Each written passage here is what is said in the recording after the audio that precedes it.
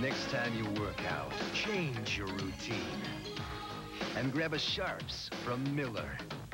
The breakthrough non-alcoholic brew with real beer taste.